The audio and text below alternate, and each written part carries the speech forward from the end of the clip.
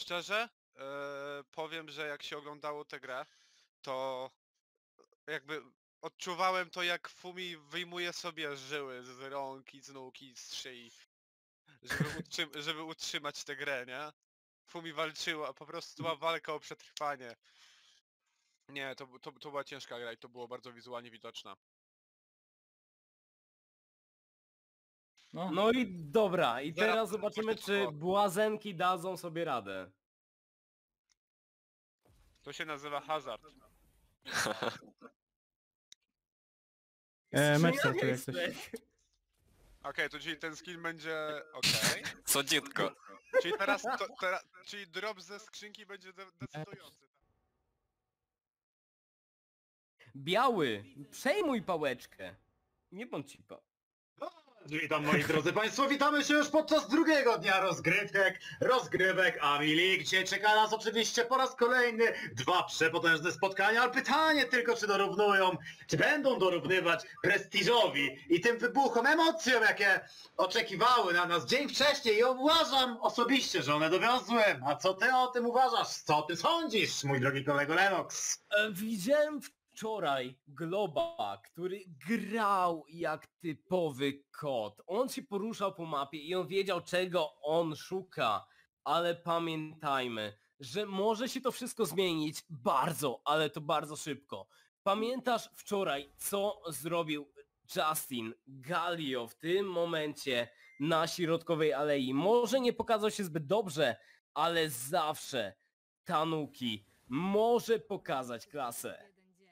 Czy Tanuki pokaże klasę, to się akurat dopiero okaże w tym meczu. Galio akurat jest pikiem takim dość, hmm, powiedzmy nieznośnym. Na drugiej Ultralidze przeważnie, kiedy był otwierany, kiedy został ot, otwarty, kiedy został przepuszczony przez tą fazę banowania, e, był praktycznie, że zawsze pikowany i praktycznie miał 100% win ratio. Ten czempion, kiedy był przepuszczony, ponieważ jest to osobiście moim zdaniem połamana postać. Zobacz jakie mamy połamane postacie po stronie drużyny czerwonej. Mamy Galio, mamy Sejuani, mamy Malfighta, mamy Morganę i jeszcze Caitlinka do tego dołożona po staroświecku. Dołącza nam do tej kompozycji bardzo szybki draft i ja się z tego bardzo cieszę. Choć kompozycja czerwona jest bardzo, ale to bardzo mocna. Może wytrzymać tonę obrażeń, ale widzisz tej Morganę, widzisz Caitlyn i widzisz, że będzie ona kierowała dolną aleję, a z drugiej strony, no powiedz mi biały, czy tutaj nie ma obrażeń?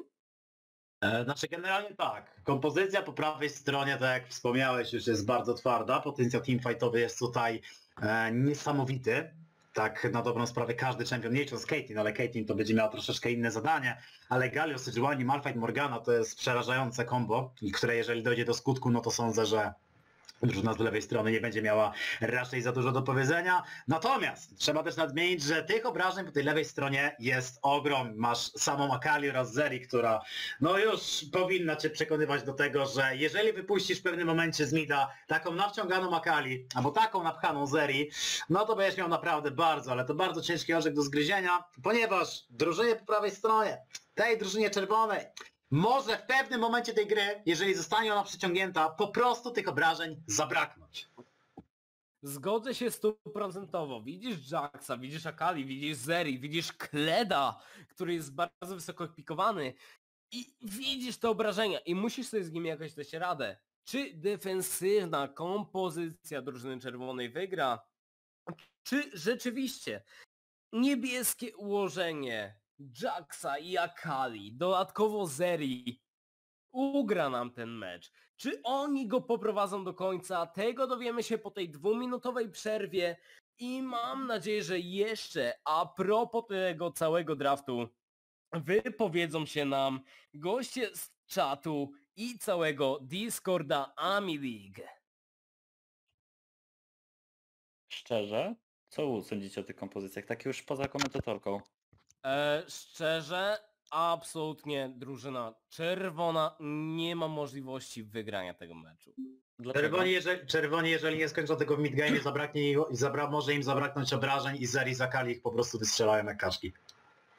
Szoku, że Chyba, że będą szli w te nietypowe buildy jak, jak nie wiem, Electrocute Sejuani, co jest dobre w early game, ale w, mi, w, late, w mid game z kolei już jest zobacz na to z tej perspektywy.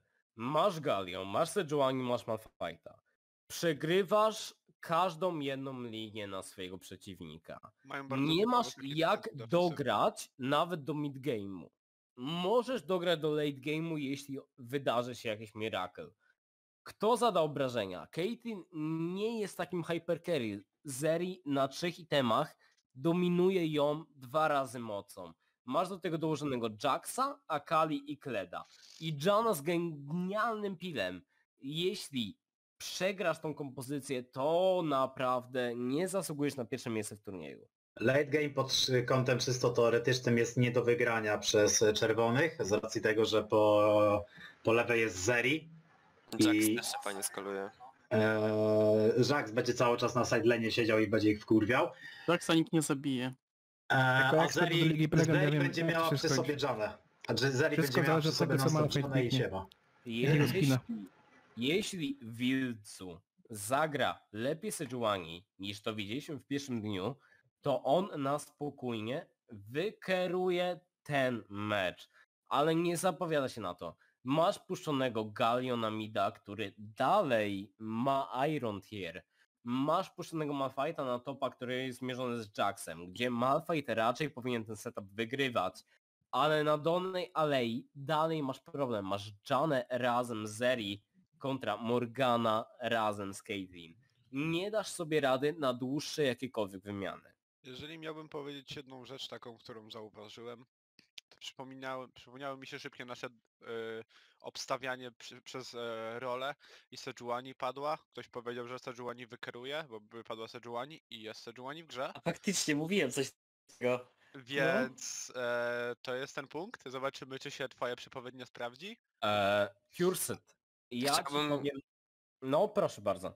Chciałbym zauważyć, że użytkownik Dump Lizard jest y, m- OTP-kiem właściwie Kleda, doszedł do diamenta tylko i wyłącznie tą postacią, a w tym meczu zostawili go otwartego bez bana, więc myślę, że to jest spory błąd, jeśli chodzi o samą fazę banowania. I Malafite ma złego skina. Tak swoją drogą. Nie ma koniczynki, tak? Obrzydliwe. Przegrali. Dobra, zobaczymy. W każdym razie widzimy w tym momencie kompozycję obydwu drużyn i możemy wnioskować bardzo dużo. Kompozycja czerwona ma bardzo dużo HP, bardzo dużo wytrzymałości, a z drugiej strony masz e eksplozywne obrażenia i masz możliwość podejścia pod przeciwników, masz inicjację przede wszystkim. Masz inicjatywę, przede wszystkim masz ogromny potencjał teamfightowy, biorąc pod uwagę ich ultimate i inne umiejętności, które te postacie posiadają w swoim, e, w swoim zestawie. Widzimy na razie podejście takie, no nie na takiej pełnej bombie, jak widzieliśmy wczoraj podczas e, tej gry numer jeden. Poprosiłbym Cię jeszcze oczywiście o poprzedstawianie niektórych zawodników, aby to się wszystko ładnie pozycjami w tabeli zgadzało, choć jednak to na pełnej bombie będę musiał chyba cofnąć, a jednak nie do końca. Nie będą szli aż tak bardzo do przodu, a trochę szkoda. Troszeczkę szkoda, ale widzimy, że zawodnicy próbowali się ustawić na samym początku i dojeżdżali oponentów. Jednak nie, delikatnie, zagramy ten mecz. Chcemy jednak wygrać tę główną nagrodę. Nie przewalić w tak głupi sposób meczu. Zobacz, masz tak naprawdę weak side na każdej alei. Oprócz dolnej, gdzie Itsumi ostatnio, wczoraj stawiała opór i jak najbardziej chciała to wygrać.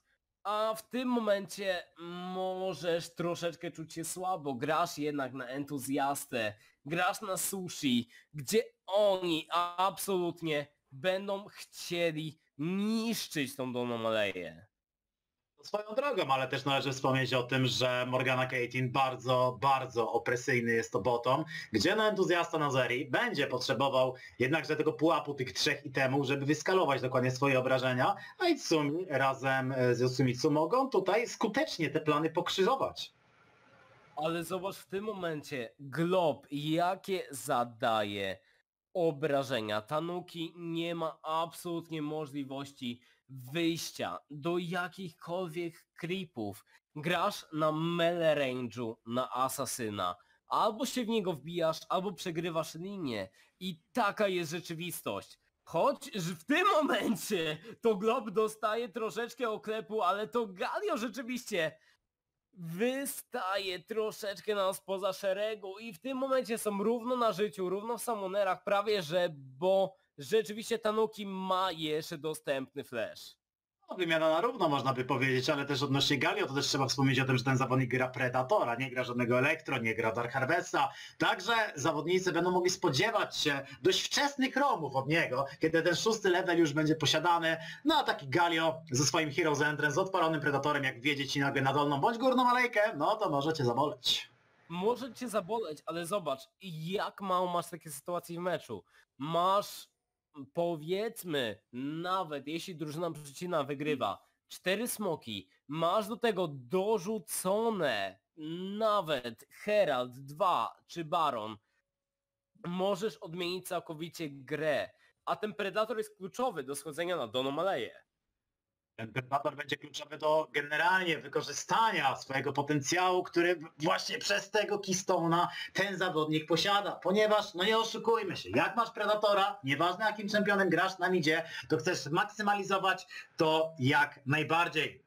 I w międzyczasie kolejna wymiana na, na środkowej alejce, tylko tym razem Glob już nie wygląda tutaj wcale aż tak dobrze.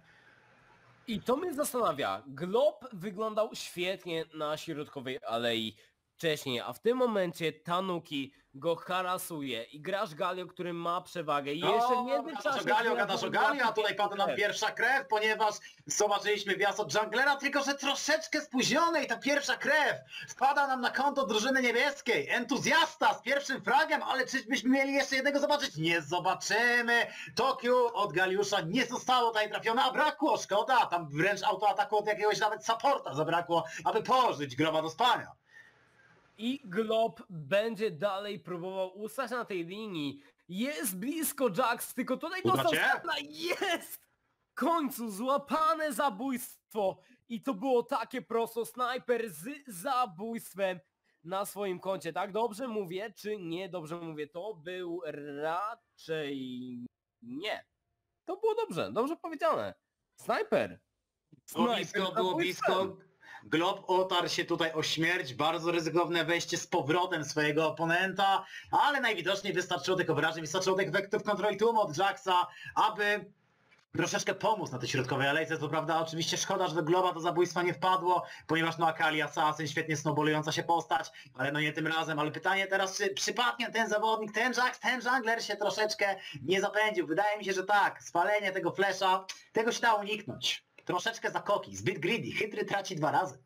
Dało się uniknąć, ale zauważ, łapiesz jakieś fajne zabójstwo na środkowej alei i zastanawiasz się, co jeszcze z tego wyciągnąć. Może docisnąć przeciwną Sejuani. I absolutnie, Wilcu, nie ma odpowiedzi na to, jak zagrać na jungli. Grasz na Jacksa, musisz się liczyć z tym, że on jest duelerem. On jest postacią do tego, żeby się bić, żeby jak najdłużej ciągnąć walkę, a Sejuani jednak chce wrzucić gdzieś tam ulta, dorzucić coś cyceków. I ja tam w siódmym sezonie, zdobywając kolejne zwycięstwo, mieliśmy Sejuani, która zadawała całej drużynie przez 50 minut 1600 obrażeń. Ty masz dorzucić naprawdę, ale to naprawdę dobrego ulta. No, Naprawdę dobrego ulta. Sam ten ult jest w stanie bardzo mocno pokrzywać szyjki. Nie mówimy tutaj o obrażeniach, tylko mówimy o tym e, okropnym slowie, który wchodzi, tak samo jak i ze stunem, który trafia pierwszego zawodnika. Nie jest to Sara Sejuani, która była w stanie zestunować całą drużynę przeciwną za pomocą dobrze trafionego ultimate'a. Tylko, że no wtedy nie rozpadało się to jeszcze na tę na tę burzę śnieżną, ale to były też czasy, kiedy mogłeś grać Sejuani a na midzie. Pamiętasz jak było to dawno? Ty wracasz do czasów piątego sezonu. Ja uwielbiam wracać do czasów bety. Ale ta beta była naprawdę dawno temu. A tutaj widzimy, że jest 2-0. W tym momencie na konto UW Cadgers. I widzisz jak to świetnie wygląda. Co prawda niektóre linie mogą delikatnie przegrywać trady, ale to dalej będzie się rozwijało i to dalej będzie szło w tłum, żeby złapać ich jak najwięcej. No tam był podlecona flaga na górnej alejce, ale na dole tak samo jest taki potencjał posiadany, tylko że zabrakło tam jednego skillshota, jednego autoataku, no może góra dwóch, żeby uśmiercić Morganę. Nie wyszło, ale znowu priorytet na linii zdobyty, przewaga cały czas pogłębiana, tempo jest posiadane, entuzjasta na serii znowu może stać się ogromnym, ale to ogromnym problemem takim jak był wczoraj na Jinx. Był problemem, to prawda, pamiętamy to i jak on zdominował. Tam było co najmniej 12 zabójstw. A masz w tym momencie 20 więcej creepów niż przeciwna dekery. I jeszcze do tego jest dokładany ult od Galio. Dokładane Który ultot Galio, szybsze wejście na linię. Szybsze wejście na linię, ten zawodnik zrezygnował z teleportu, się zdecydował na Ignite'a. Można powiedzieć, że prawie, że na full bombę. E, zakładam, że entuzjasta raczej niedługo się będzie z tej linii wycofywał, nie ma co tutaj, co tutaj szukać, linia jest zepchnięta. Także jak najbardziej cofka w punkt, można powiedzieć. Zdecydowanie bardziej spokojna jest ta gra od tych, co widzieliśmy w dniu wczorajszym. Miłe zaskoczenie, jakby nie patrzeć. Miłe zaskoczenie, bo wczorajsze dwie gry dostarczyły nam bardzo dużo emocji.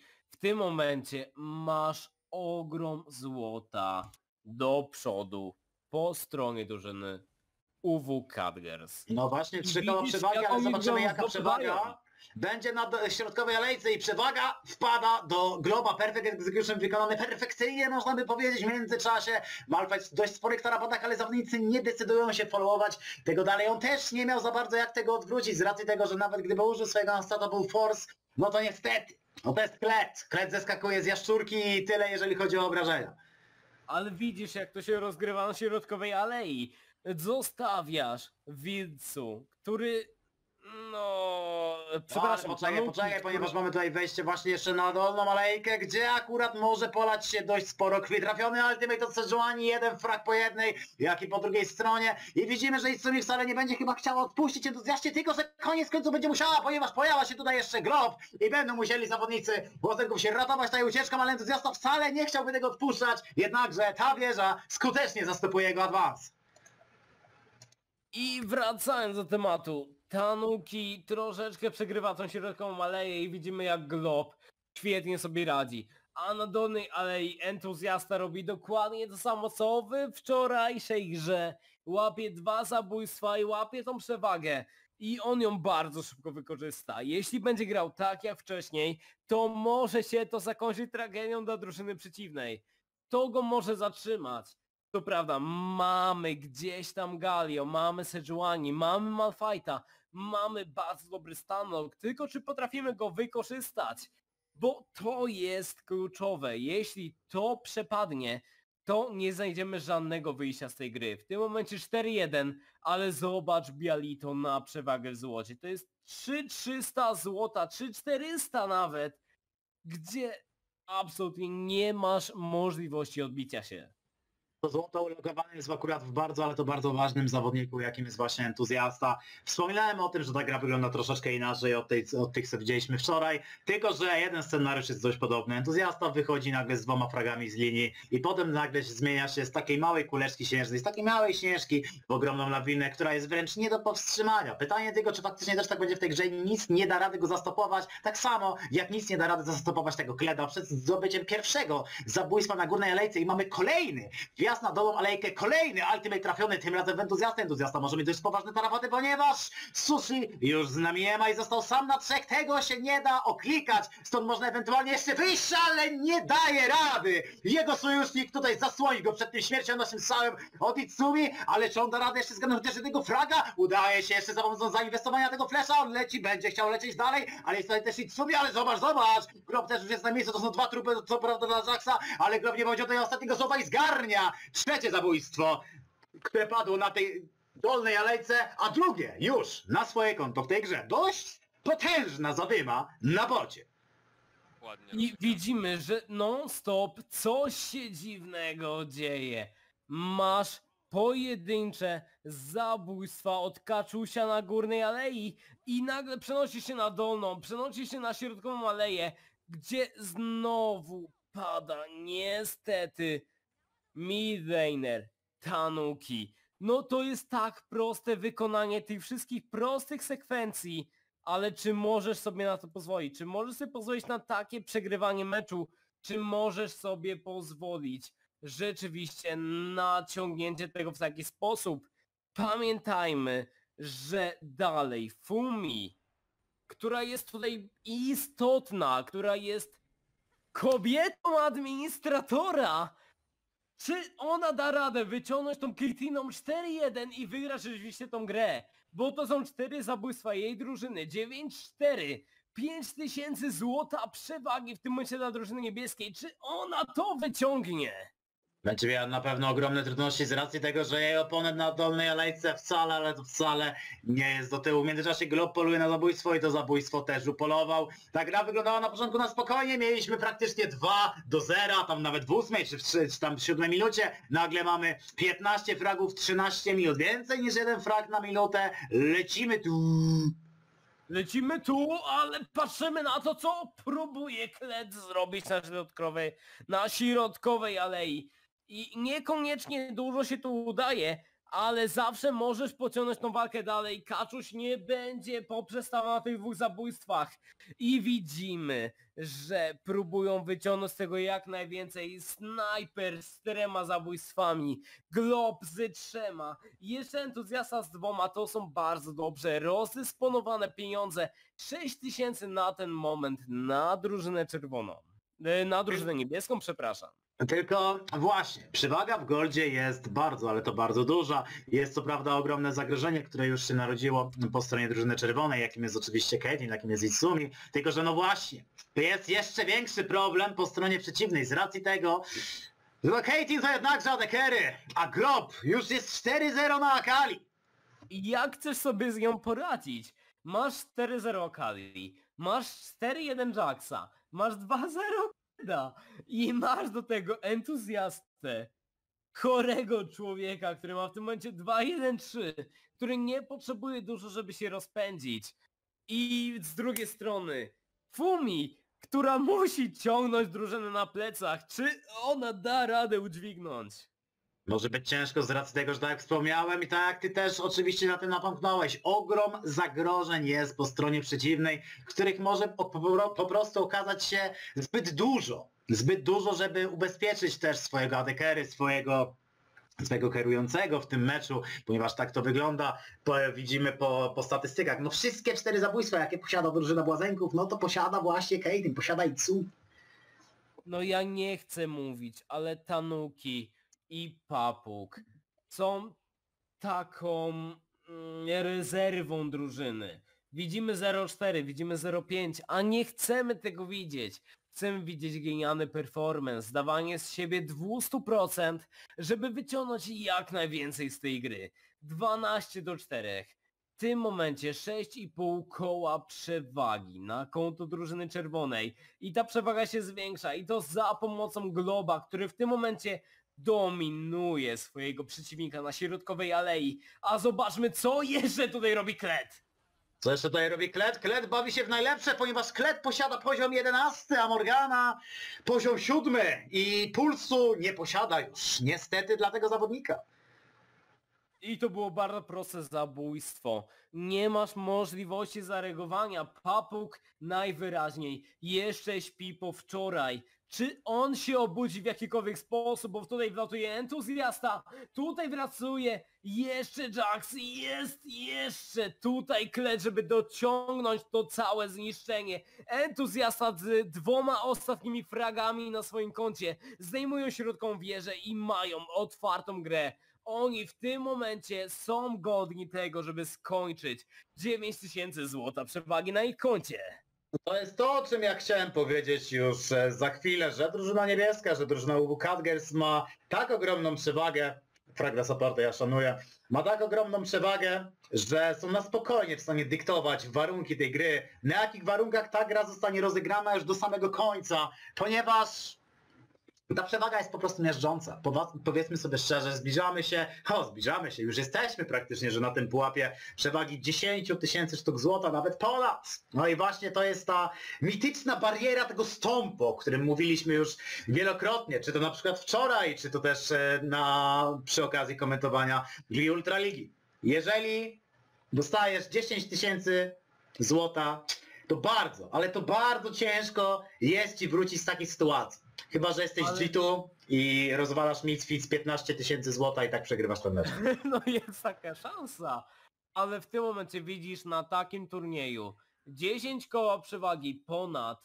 Widzisz, że każdy przeciwnik z drużyny czerwonej jest osłabiony. Oprócz oczywiście Fumi. A z drugiej strony każdy jest w gazie i każdy ciśnie ile może. Czy wytrzymasz tą presję? Zobacz na farmę. Na midzie jest kluczowa. A nareszcie delikatne jakieś odchyły. Ale nie masz jak się mierzyć z oponentem. Nie ma jak się mierzyć z oponentem, akurat UW wygrywa. Cadgers rozgrywa to w, w sposób nie jakiś taki super też mocno agresywny, powiedzmy sobie szczerze, ponieważ e, oni są już tak naspidowani, są tak nafarmieni, są tak nawciągani, że spokojnie mogliby wymuszać tej walki 5 na 5, które prawdopodobnie właśnie by wygrywali, ponieważ no nie sądzę, żeby ci zawodnicy nagle zestakowaliby się wszyscy w jednym miejscu, w jednym krzaku i pozwolili drużynie przeciwnej, żeby wlecieli w, w nich wszystkich za pomocą swoich ultimate'ów. Nie, widzimy, że tutaj takie pojedyncze wyłapywania, pojedyncze zgarniane obiektywy, oj, mówiłem o pojedynczych wyłapaniach, oj, tutaj entuzjasta chyba podliftował troszeczkę za daleko, ale spoko, jego sojusznik, jego Jax, jego jungler już jest tutaj na posterunku, żeby zgarnąć to, co entuzjaście umknęło. Snajper dojeżdża swoich oponentów na jungli. 5-1, 5-0, 5-1. To są tak wspaniałe wyniki, z którymi nie możesz się mierzyć. 19 do 5, 11 tysięcy złota przewagi. To jest stąp i tak jak Białym mówisz, że UW Cadgers absolutnie dominuje w tym momencie Rift. Pola sprawiedliwości są pod ich dysponowaniem. Puszczają jeszcze, zobacz, tu jeszcze nie ma 20 minuty, masz taką przewagę. Puszczają Heralda na dolną aleję. Puszczają absolutnie wszystkie wodze fantazji, żeby wygrać ten mecz. I widzimy jak to wygląda. 20 creepów przewagi na górnej alei. Prawie że 30, 30 na jungli.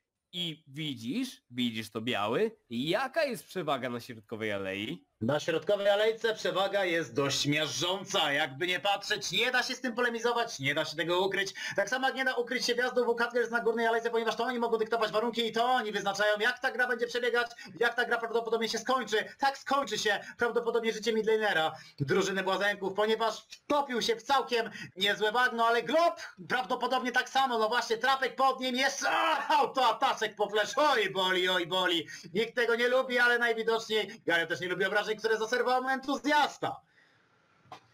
Ale zobacz jak tutaj szybko próbują jeszcze się odbijać błazenki. Złapałeś pierwsze zabójstwo, Glob, bardzo fajny shutdown, tylko że dalej nie masz jak docisnąć.